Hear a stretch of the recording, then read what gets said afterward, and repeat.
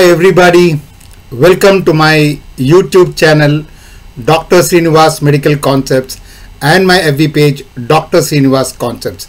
This is Dr. Sreenivas, neurologist from Rajahmundry, Andhra Pradesh, India. My email is 3klpm at gmail.com. Today we are going to talk about a very very interesting topic localization of third nerve palsy localization of third nerve palsy, cranial nerves part 35, oculomotor nerves part 21. So, localization of third cranial nerve palsy. We'll talk about first the individual nerve palsies. 25% of cases are idiopathic. 25% of cases are idiopathic and of these 50% recover spontaneously.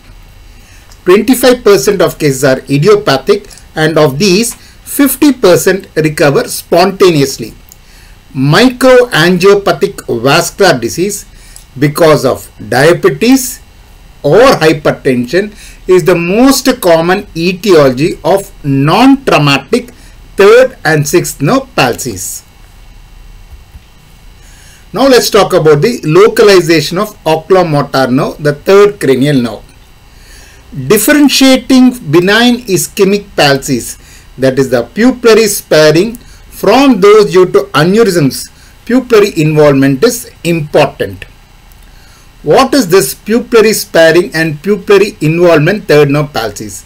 Imagine there is a compressive lesion like an aneurysm. It will affect the superficially placed parasympathetic pupillary fibers first. So any compressive lesion like aneurysm or herniation will affect the superficially parasympathetic pupillary fibers first and therefore there will be pupillary involvement. On the contrary, at the other end of the spectrum, ischemic lesions of the third nerve like diabetes will affect the center of the third nerve and therefore it will spare the superficially placed parasympathetic pupillary fibers. So ischemic third nerve lesions like diabetes are sometimes known as pupillary sparing third nerve palsies. So differentiating benign ischemic palsies that is diabetes which is very benign from those due to aneurysms which are malignant, they are dangerous. Pupillary involvement is very very important. In addition to pupillary sparing, the most helpful clinical feature distinguishing ischemic from mechanical compressive lesion is aberrant reinnervation. Aberrant reinnervation is seen in compressive lesions. Example, aneurysm and head trauma.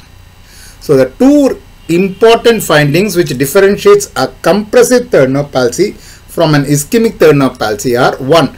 In compressive third nerve palsy, pupillary fibers are the first to get affected and compressive lesions usually produce aberrant reinnervation. What is aberrant reinnervation? A muscle which has to be specifically supplied by, by a branch of the third nerve may get another branch of the third nerve. So this is known as aberrant reinnervation.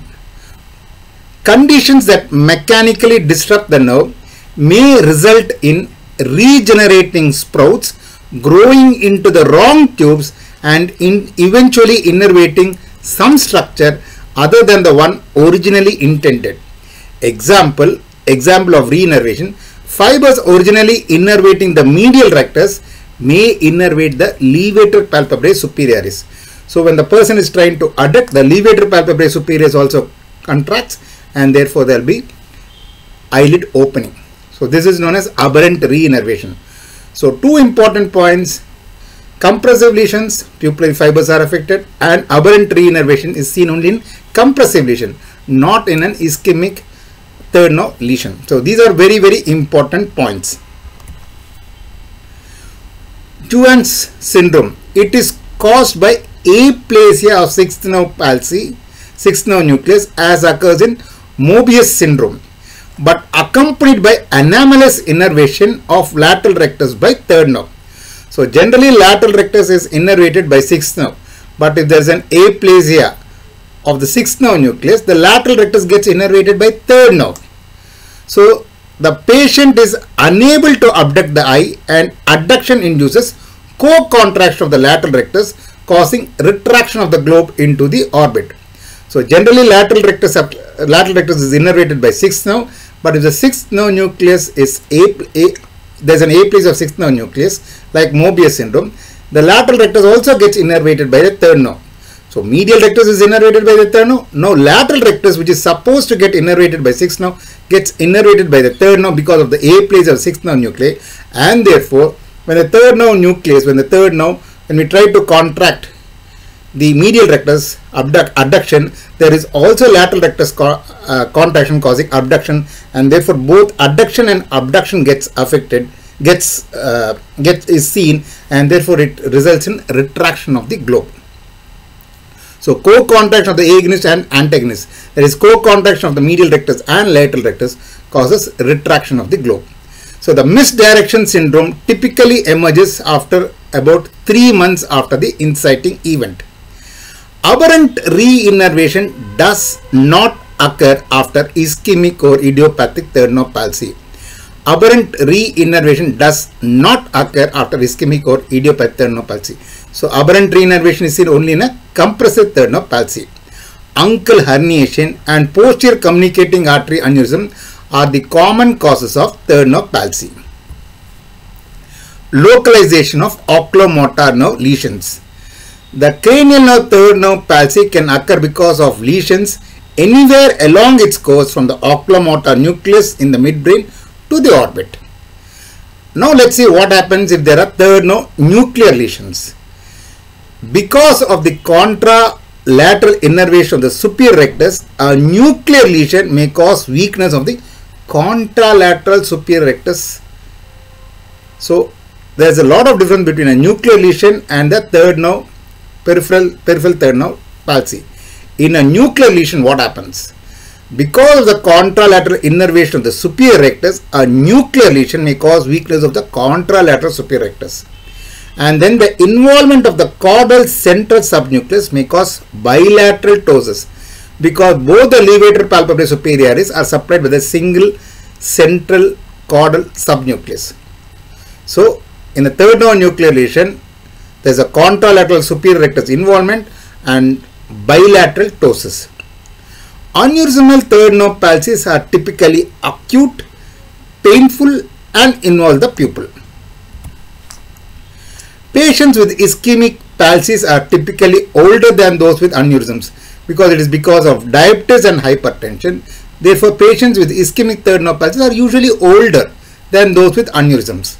Microvascular third palsies are of sudden onset, painful and may spare the pupil but begin to resolve by about 2 months and doesn't result in aberrant reinnervation.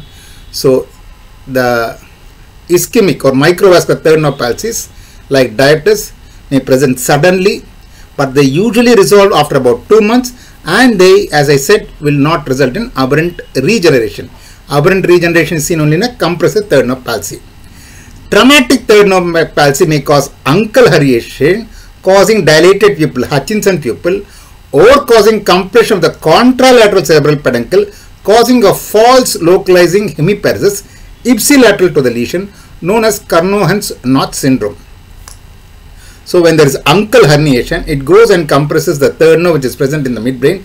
Parasympathetic, superficially parasympathetic pupillary fibers are the first to get affected. Therefore, pupil on one side will get dilated, the other side pupil will be normal. So this is known as Hutchinson's pupil. The uncal herniation may sometimes go and compress the contralateral cerebral peduncle. So contralateral corticospinal tract gets affected and therefore there may be hemiparesis ipsilateral to the herniation what we call as Kernohan's notch syndrome.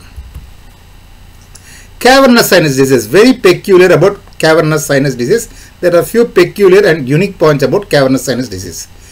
Cavernous sinus disease usually affects other structures in addition to third nerve, but mononeuropathy may occur. We have the third nerve, fourth nerve, sixth nerve, first division of the fifth nerve, internal carotid artery, all structures are present in the cavernous sinus.